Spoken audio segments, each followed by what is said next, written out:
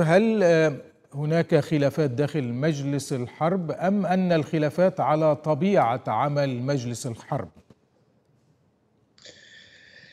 تحياتي لك ولجميع المشاهدات والمشاهدين بداية التصدع في داخل كابينت الحرب تعمق كثيرا في الأسبوع الأخير وكان هناك جلسة تم إلغاء نقطة البحث الأساسية التي وضعت على على بساط البحث وهي ماذا بعد حرب غزة؟ ماذا ما هي السيناريوهات السياسية الممكنة؟ ونتنياهو في اللحظة الأخيرة قام بإلغاء هذا البند بضغط كبير من الوزير سموتريتش حليفه في الحكومة الموجودة. وهذا أثار أيضا نقاشا حادا مع شريكه في الكابينت العسكري جانس. فلذلك التصدع آخذ في التعمق ليس فقط على موضوع سير العمليات العسكرية الآنية لأن هناك انقساما واضحا بهذا الموضوع. جانس وأيزنكوت من ناحية يعتقدان أنه من الضروري الانتقال إلى المرحلة ما يسمى الثالثة في العمليات العسكرية حالا. بينما نتنياهو وجالانت يريدان أن يمددا ذلك حتى نهاية شهر يناير. أضف إلى ذلك موضوع مهم جدا تصاعد في الأسبوع الأخير وأدى إلى خلاف أوسع هو ما يسمى الاندماج الملف السياسي المستقبلي داخل إسرائيل وإمكانيات انتخابات سريعة بعد عدة أشهر. أوجد نوعا من الوزن الزائد للعامل السياسي والمستقبلي لكل فرد من أفراد أعضاء الكابينت السياسي. كل العسكري كل يفكر في مستقبله السياسي. فلذلك رأينا العديد من التصريحات الجديدة المتعلقة بدمج الموضوع السياسي الشخصي الحزبي المستقبلي على الموضوع العام بما في ذلك العمليات العسكرية. إضافة إلى كل الملفات التي تم ذكرها سابقا بما يتعلق باحتجاجات اهالي الاسرى، العلاقة المتوترة مع الولايات المتحدة وهذا الأسبوع أخذت منحا جديدا اضافيا حول موضوع موضوعين مركزيين، الموضوع الأول هو جدولة إنهاء الحرب وهذا كان قائما في السابق، والثاني حول مستقبل ما سيجري في قطاع غزة بعد هذا هذه الحرب. و أيضا تعامل إسرائيل في الضفة الغربية بمنع تمرير الميزانيات المتعلقة والمستحقة للسلطة الفلسطينية. كل ذلك يدور في خضم تصدع غير مسبوق بين السياسي والعسكري بين السياسي والسياسي بين العسكري والعسكري. كل ذلك على أرضية إخفاقات متتالية على جميع الأصعدة عسكريا اقتصاديا سياسيا وأيضا في المجتمع الدولي نعم. هذا التصدع سيأخذ منحى أيضا أكثر في الأيام القريبة وخاصة الأسبوع القريب مع البدء الحديث على إمكانية تبادل صفقة نعم. تبادل أسرى هنا هنا دكتور دياب يعني إسرائيل تؤكد بأن الحرب مستمرة وأنها قد تستمر لشهور وهي صاحبة القرار ولا تعلن عن أنها تتفاوض وتنقل رسائل للأطراف المعنية هذا صحيح. إسرائيل تريد أن تربح الوقت وأنا أود أن أشير إلى قناتكم الكريمة. امرا جديدا تم الكشف عنه صباح اليوم ومؤشر مهم مع مؤشرات أخرى إضافية تدل على النوايا التي تريدها إسرائيل.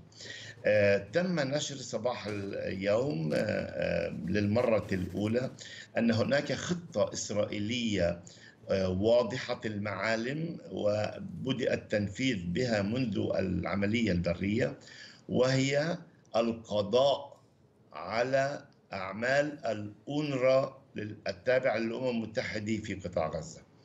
وهذا هناك أيضا برنامج متكامل إسرائيل لا تريد أي دور للأمم المتحدة والأونرا بعد هذه الحرب إطلاقا في قطاع غزة وإذا تم لها ذلك أيضا أن تكون يكون ذلك بأماكن أخرى مثل الضفة الغربية. وما, وما السبب دكتور دياب؟ نعم هذا مؤشر واحد من المؤشرات التي تدل على أن إسرائيل ليس أنها لا تملك برنامجا بعد يوم الحرب وإنما تملك برنامجا متكامل الأطراف. القضاء على الأونروا في في في في قطاع غزة محاولة القضاء على حماس والمقاومة والجهاد وغيرهم. القضاء على السلطة الفلسطينية ورأينا ذلك في الأسابيع الأخيرة بشكل واضح. القضاء على أي شخص أو مجموعة أو فصيل يرفع رأسه في الضفة الغربية ورأينا الاغتيالات في الأسبوع الأخير. كل هذه المؤشرات الأربعة تقول أن إسرائيل تريد أن تنتقل من إمكانية تسوية سياسية ممكنة إلى فرض تسوية أمنية بسيطرة إسرائيلية بكل معنى الكلمة على مجمل المناطق المحتلة في الضفة الغربية قطاع غزة والقدس. فلذلك هذه هي الخطة الواضحة وهذه هي المعالم وتم الكشف عن الكثير من هذه الأمور ليس فقط صباح اليوم وإنما بالأيام الأخيرة. وأود أن أقول ارتباطا بالمباحثات المتعلقة بتبادل الأسرى إسرائيل تريد أن تربح الوقت لمحاولة إنهاء هذه المهمات سواء في الضفة الغربية وسواء في غزة وتفرض أمورا ناجزة غير قابلة للإصلاح على الهيئات الدولية بما فيها الضغط نعم. على الولايات المتحدة الأمريكية ولكن بهذه الخطة الإسرائيلية أو هذه التسوية المقترحة من جانب إسرائيل فهي تعود بالقضية الفلسطينية إلى النقطة صفر هي تعود إلى القضية الفلسطينية إلى مربع العام 48 أصلا بالمناسبة إسرائيل تقول كل الوقت أن ما جرى في 7 أكتوبر هو يعني أرجع المعركة إلى إلى معركة وجودية لإسرائيل. وهم يقولون أن المطروح في هذه المعركة لإسرائيل إما نحن كما يقولون أو هم. فلذلك صحيح المربع الذي أعادنا إليه هذا العدوان وخاصة بعد 7 أكتوبر هو العودة إلى مربع نكبة 48 بما معناه أن الأوراق كلها مفتوحة ومكشوفة بمحاولات القضاء على القضية الفلسطينية، القضاء على إمكانية حلول سياسية بما في ذلك حل الدولتين، القضاء على أي شريك من الممكن أن يكون أو أن يطرح استقلالية للشعب الفلسطيني بأي صيغة ممكنة يستطيع المجتمع الدولي أن يدعمها. إسرائيل ترى بذلك أن مهمتها التاريخية اليوم هو القضاء على كل شيء اسمه قضية فلسطينية. لم ينجحوا بالتطهير العرقي لم ينجحوا بالتهجير القسري لم ينجحوا حتى الآن بالتهجير الإرادي بالاختياري ويتوجهون إلى القضاء على ما يمكن أن يكون هاجسا أو مهددا لإمكانية إيجاد حل للقضية الفلسطينية وهذا خطير جدا وهذا أيضا ما يثير يعني يعني غضب الولايات المتحدة بالأيام الأخيرة نعم. وكانت هناك اتصالات هاتفية حادة جدا بين بايدن ونتنياهو في الأيام الأخيرة. هل هذه خطة اليمين أم هي خطة مجمع عليها من الكل؟ الخطة هي خطة اليمين. م. وهذه لم تكن خطة نتنياهو قبل 7 أكتوبر. نتنياهو وجد نفسه بعد 7 أكتوبر أنه أسير لهذا التحالف اليميني الفاشي. لأنه الحل الوحيد أمام بقائه في الحكومة فلذلك هو اليوم أسير نتحدث عن أسرى إسرائيليين في قطاع غزة ونتحدث عن أسرى سياسيين في داخل إسرائيل أحدهم وأكبرهم هو نتنياهو الذي تحول إلى أسيرا مجرورا عاجزا ضعيفا أمام هذا التحالف الذي يفرض عليه كل يوم. انظر ماذا حدث أمس أمس وألغى البند المتعلق بالبحث حسب الطلب الأمريكي بمستقبل المنطقة السياسي بطلب وضغط من سموتريتش مهددا إياه بالخروج من الحكومة وتركه بدون حكومة بما معناه يعني إنهاء دور هذه الحكومة القائمة. انظر ماذا حدث لبن كفير عندما هدد بأنه خلافا لكل الاتفاقيات السابقة مع جنس بعدم تعيين تعيينات أساسية في الحكومة وفي وزارته بما في ذلك مسؤولة السجون الإسرائيلية الذي يريد لا يريد أن يمدد لها المهمة ولديه مساعد شخصي يريد أن أن يعينه بهذا المنصب خلافا للاتفاق مع جانس ونتنياهو وحكومة الكابينت وهو ينصاع لذلك. هو إنسان اليوم بأضعف حالاته السياسية والشخصية ولا يهمه سوى بقائه في الحكم. فلذلك نرى أنها لا صدفة بتصريح الأخير لرئيس الأركان السابق في إسرائيل بأن الصور إسرائيل لم تحرز صورة نصر حتى الآن ونحن نريد صورة النصر الحقيقية هي بإقالة نتنياهو ونزوله عن المسرح السياسي. نعم ولكن هل يبدو ذلك قريبا في ظل هذه التطورات؟ لأنه ما زالت هناك نسبة عالية في إسرائيل تؤيد استمرار الحرب وما زال اليمين واليمين المتطرف لهم الأغلبية. هذه هذه هي المعضلة الأساسية القائمة لأن كل العوامل الأخرى سواء العوامل الميدانية في في المعارك عوامل الدولية العوامل بداخل الولايات المتحدة أصبحت ناجزة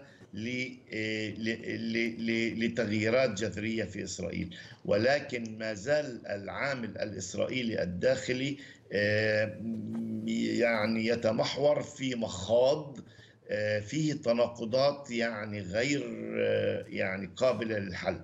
هنالك التناقض بين نضال أهالي الأسرى ومطالبة المجتمع الإسرائيلي باعاده الأسرى مقابل وقف العمليات العسكرية بما معناه تناقض بين مهمتين وهدفين أساسيين لهذا الكابينت التناقض الثاني هو التناقض ما بين كل أطراف الكابينت العسكري الحربي بكل المواضيع لا يوجد أي موضوع إسرائيلي متفق عليه بين الخمسة المقررين في الكابينت العسكري. ولكن هذا كل طرف من هذه الأطراف لحساباته السياسية المستقبلية يبقى متمسكا بهذا الكابينت بما في ذلك جانس رغم كل الضغوطات التي توجه نحوه من حزبه نفسه بأن يستقيل وأن لا يعطي غطاء لما يقوم به نتنياهو. فلذلك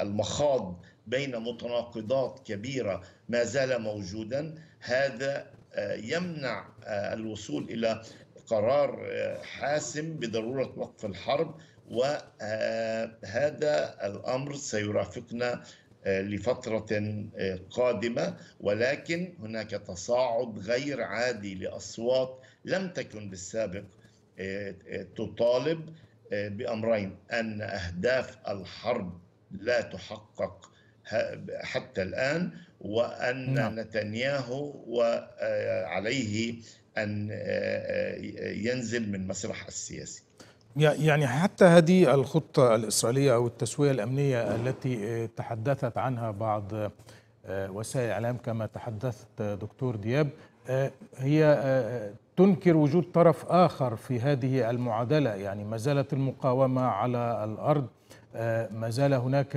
نضال وما زال هناك أيضا رغبة في البقاء من سكان القطاع واستمرار في دعم هذه المقاومة. وأيضا في الضفة الغربية ما زال هناك أيضا إصرار على البقاء. هنالك فرق كبير بين الخطط الموضوعة ومدى مدى ما إمكانية نجاحها. حتى الآن الكثير من الأهداف الإسرائيلية لم تتحقق. الكثير من المهمات والخطط الإسرائيلية لا تتحقق. إسرائيل تقيم عدد من السيناريوهات والملفات بما يسمى برامج درج بالجارور وتكاد تكون عدة سيناريوهات لكل قضية معينة والانتقال من إمكانية ألف إلى إمكانية باء حسب التغيرات وحسب الحاجات. هذه الخطة تقوم بها إسرائيل بشكل كبير بهذه الحرب لكي يعني تسحب البساط من الحليف الأمريكي بعدم إعطائه أي ورقة لما بعد الحرب ليقول أنا أريد الآن حل الدولتين. أو التعامل مع السلطة الفلسطينية على سبيل المثال التعامل مع الفصائل الفلسطينية المختلفة خاصة وأنه بات واضحا أمام المجتمع الدولي والمجتمع العربي أنه لا يمكن الخروج من الوضع القائم إلا بتسوية سياسية تضمن دولة فلسطينية في الضفة الغربية قطاع غزة للشعب الفلسطيني وعاصمتها القدس وأن يكون هناك قيادة فلسطينية ولا وهذه القيادة الفلسطينية الجامعة لا تستثني حماس والمقاومة والجهاد وآخرين. فلذلك ولكن يريدون ذلك بما يسمى بوزن أقل مما هو عليه اليوم بقطاع غزة. فعندما بات هذا الأمر واضحا أصبحت إسرائيل تسرع في تنفيذ أو محاولة تنفيذ مثل هذه الخطة ولكن المقومات الجامعة القائمة اليوم عسكريا وسياسيا أنا أعتقد أنها لن تنجح في ذلك. ولكن هل تفكر إسرائيل عندما تضع مثل هذه الخطط في محيطها وفي الدول الجارة لها أو الدول الإقليمية التي كانت تسعى لأن تكون لديها علاقات طبيعية معها؟ هي تلعب على أوراق التناقض الإقليمي وهي تحاول أن تجد حلولا ثنائية هنا وهناك لبعض الإشكالات القائمة. إسرائيل على سبيل المثال لم تنجح بقضية التهجير إلى مصر أو التهجير إلى الأردن وبسبب المواقف الواضحة لكلا الدولتين المصرية والأردنية. هذا هذه الخطة كانت موجودة ولم تنجح ولكن حاولت إسرائيل كل الوقت عمل كل شيء من أجل تنفيذها الأمر الذي لم يتم. حاولت إسرائيل امكانيه تطهيرات عرقية. حاولت إسرائيل الضغط على الأمم المتحدة. رأينا تصريحات الأمين العام للأمم المتحدة تأتي خلافا لما تريده إسرائيل واثارت ضجة عالمية ضد إسرائيل وزادت طين بلة بعزل إسرائيل دوليا. إسرائيل تسعى إلى العديد من المحاولات بما يسمى التعاون الاقتصادي أو إيجاد حلول لأمور إقليمية أو تأجيج فتن وصراعات أمام قوى إقليمية إضافية كإيران وحزب الله وآخرين. هي تريد أن تستفيد من وتعمق التناقضات بالعالم العربي لكسب الوقت والوعد بمستقبل أفضل بالتعاون بينها وبين هذه الدول فيما إذا آه، وافقت على إنهاء القضية الفلسطينية والخروج من هذه الحرب بدون أن يطرح هذا الموضوع على الأجندة كما كان خلال الثلاث عقود الأخيرة، ولكن كل الدلائل وكل المعطيات تشير بما في ذلك مواقف العديد من الأنظمة العربية. ورأينا آه، المحاولات في مجلس الأمن، رأينا الاقتراحات المتتالية لمصر والإمارات وقطر وآخرين من أجل الضغط باتجاه الوصول إلى وقف إطلاق نار أو أي حلول إنسانية أو أي مواقف متعلقة بتبادل اسرى فلذلك السؤال هل تجري الرياح بما تشتهيه سفن نتنياهو؟ باعتقادي الجواب سلبي.